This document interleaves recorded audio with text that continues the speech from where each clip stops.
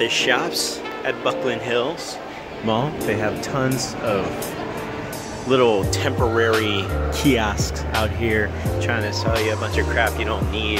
I think it's a Sunday thing, personally. It's the mall thing. It might be a mall thing, but nah, I don't really like scammers. that we don't need. Yeah, let's go look at stuff we don't need.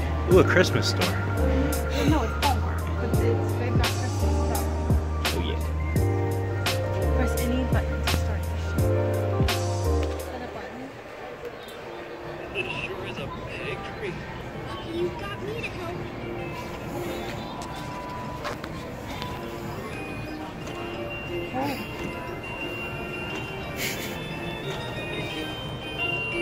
Oh, that's fun. That was so fun.